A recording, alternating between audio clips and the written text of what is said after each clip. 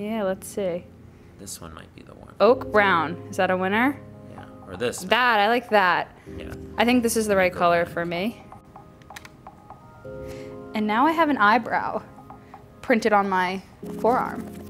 This is working, kinda. L'Oreal is at CES paving the way for a category called assisted beauty tech. There's a new product for motor skills and another for creative skills, both showcasing some pretty awesome precision technology for makeup application. Let's go take a closer look. L'Oreal is of the belief that every person should be able to experience beauty. But tens of millions of people actually can't use traditional makeup because they have motor skill impairments, whether it's tremors, MS, the effects of a stroke, or similar conditions. So L'Oreal worked with Lancome to create a handheld corrective device called Hapta that can keep a lipstick steady for application.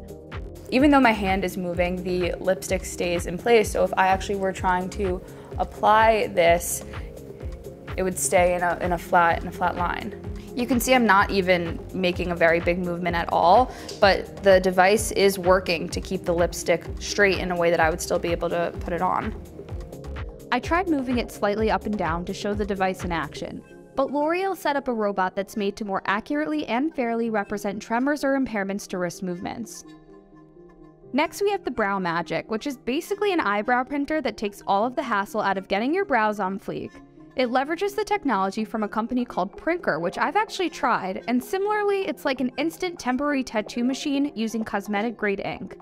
The ink cartridge features dark brown, brown, and black inks for a variety of color combinations that L'Oreal says should cater to 95% of people's eyebrow colors. Brow Magic companion app scanned my face to help me figure out what brow shape would look best on me, but you can totally customize the thickness, arch, and color to your preferences.